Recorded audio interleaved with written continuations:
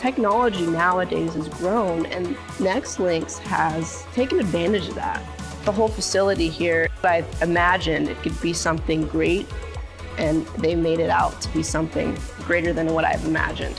Being on the team has been a privilege and it's been a great experience for me. And they've been a huge support behind me, about uh, behind my career and helping me grow as an individual, as a player as well. It's pretty freaking cool.